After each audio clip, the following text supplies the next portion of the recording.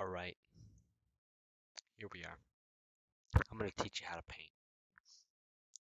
Now, the first step is to pick a brush that truly fits you in perfect size and color. But today we're going to be going with black. So what you're going to do is you're going to draw the head. And then the eyes, the mouth, the nose. Oh, always click back. It's not good enough for you. And then we're going to add some ears. There we go. We got the ears.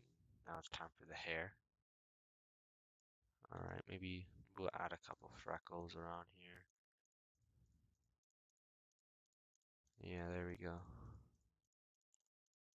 Use bad acne, actually, that's what this is. Alright, then we're gonna, we need to add pupils. And eyebrows. It's a bit mad, it seems.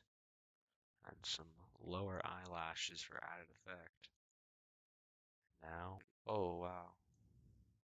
Look at how good this became. Like, that is true art right here. That is true art. This is how good you could be.